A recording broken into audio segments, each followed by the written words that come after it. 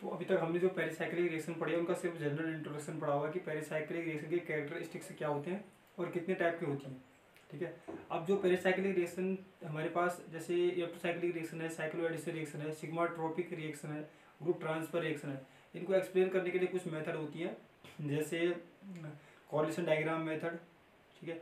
फ्रंटियल molecular orbital approach और एक हकल Mobius method भी होती है, ठीक है?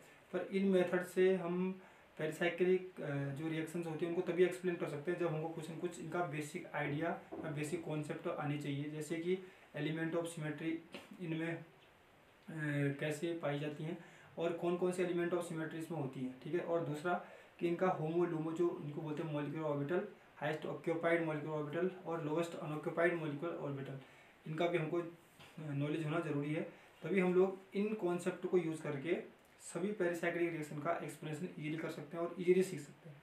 तो आज का हमारा टॉपिक ये रहेगा कि basic concept of pericyclic reaction जैसे एलिमेंट ऑफ़ सिमेट्री और फ्रंटियर मोलिकुलर जो ऑर्बिटल्स होते हैं, वो क्या होते हैं, उनमें इलेक्ट्रॉन कैसे फिल करे जाते हैं। ठीक है? तो स्टार्ट करते हैं हम लोग पहले। एलिमेंट ऑफ़ सिमेट्री ठीक है? एलिमेंट ऑफ़ सिमेट्री देखो, जो हमारे पास यहाँ ज़रूरत पड़ेगी सिमेट्री की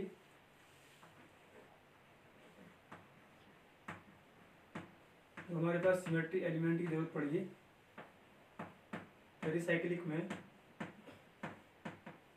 वो दो टाइप की हो सकती है। एक mirror plane mirror plane symmetry इसकी ज़रूरत पड़ेगी। और दूसरा एक्सिस ऑफ़ सिमेट्री और एक्सिस ऑफ़ सिमेट्री में भी C two axis of symmetry C two axis of symmetry axis of symmetry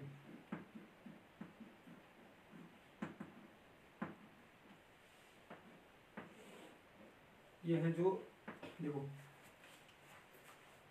एक बेस्ट एग्जांपल देखिए, आपको आता भी होगा ये थोड़ा सा एलिमेंट सिमेट्री के बारे में, पर हमको जो मोलिकुलर ऑर्बिटल्स है हमारे पास, उसमें देखना है, ठीक है? जैसे एग्जांपल लेता हूँ मैं, जैसे जैसे मेरे पास है,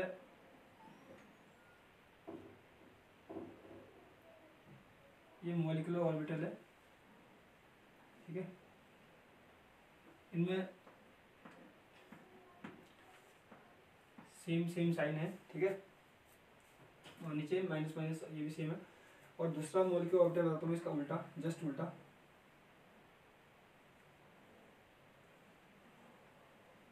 ये हो गया। इसमें प्लस इसमें माइनस इसमें माइनस इसमें प्लस ठीक है? ये हमारे पास मोलिकुलर ऑर्बिटल है। इनमें हमने चेक करना है मिरर प्लेन सिमेट्री ठीक है? और C two axis of symmetry पहले बता रहा हूँ मिरर प्लेन सिमेट्री क्या होती है, आपको पता भी होगा। कोई भी मोलिक्यूल या कोई सा भी ऐसे हम यहाँ पर ऑर्बिटल ले रहे हैं। इसको आप सेंटर से दो इक्वल पार्ट में अगर कट कर सकते हैं तो हम बोलेंगे कि इसको, इसमें मिरर प्लेन ऑफ़ सिमेट्री है, ठीक है? तो देखो अगर आप, यहाँ से अगर हम प्लेन पास करवाएँ, बिल्कुल सेंटर से पास करवाएँ तो कट करने के बाद ये वाला पार्ट और ये वाला पार्ट बिल्कुल एक दूसरे के मिरर इमेज होंगे, ठीक है? तो इसमें मिरर प्लेन ऑफ़ सिमेट्री है तो क्या बोलेंगे?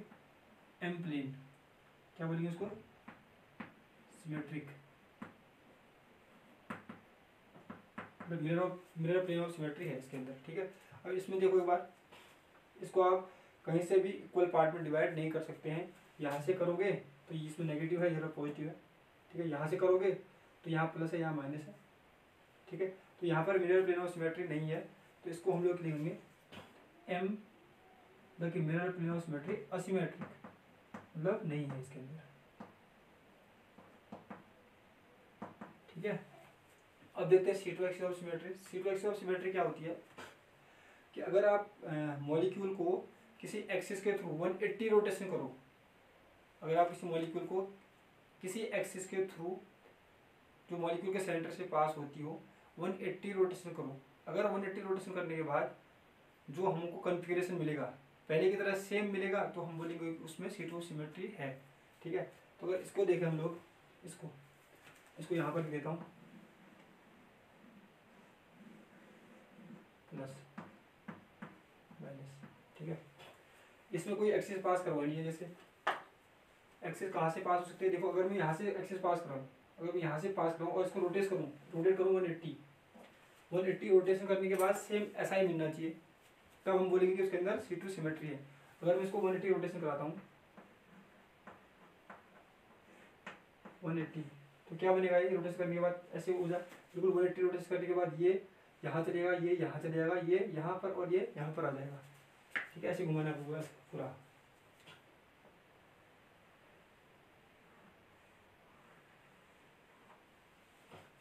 यहाँ पर क्या आ जाएगा? नेगेटिव यहाँ पर भी नेगेटिव यहाँ पॉजिटिव यहाँ पर पॉजिटिव और यहाँ पर पॉजिटिव देखो ये जो जो हमको वन एट्टी रोटेशन करने के बाद मिला जो कन्फिग्रेशन वो इसकी तरह नहीं है। ठीक है? तो इसमें हम क्या कह सकते हैं कि सी टू सी टू नहीं है। C two absent C two absent या ऐसा लिख दो। सी टू असिमेट्रिक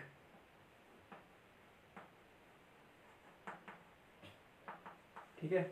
ऐसे अगर हम इसको देखें, अगर इसको वन एट्टी रोटेशन कराएँ वन एट्टी डिग्री रोटेशन कराएँ हम इसको तो क्या होगा देखो, अगर आप यहाँ से एक्सिस पास कराते हो, यहाँ से यहाँ से बिल्कुल ऐसे उसको वन एट्टी रोटेशन कराते हो तो ये यहाँ से यहाँ चले जाएगा, ठीक है? ये यहाँ से यहाँ चले जाएगा तो स्ट्रक्चर कैसा बनेगा हमारा?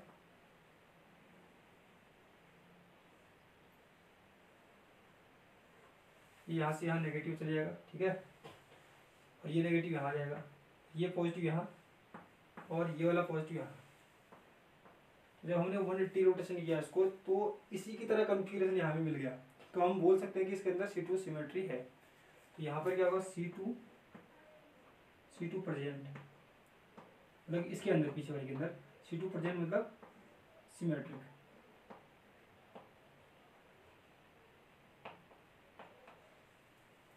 ठीक है? इसके अंदर क्या था? देखो मिरर प्लेन सिमेट्रिक था।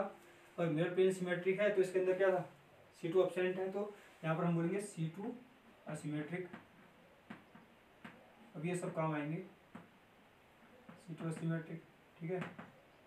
अब यहाँ पर मिरर यहाँ पर मिरर प्लेन अपसेंट था तो इसलिए असीमेट्रिक लिखा, ठीक है? जबकि यहाँ पर सी टू है तो यहाँ पर क्या बोलेंगे C two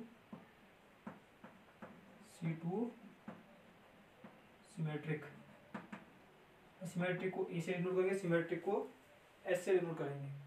ठीक है? तो ये है सिमेट्री एलिमेंट जो आपको पता होना चाहिए। अब हम लोग देख कि इसके अंदर जो मोलिकुलर ऑर्बिटल होते हैं फ्रंटियर मोलिकुलर ऑर्बिटल इसको होमोलिमो बोलते हैं। उनको ड्रॉ कैसे करते हैं? उनमें इलेक्ट्रॉन कैसे फिल कर सकते हैं?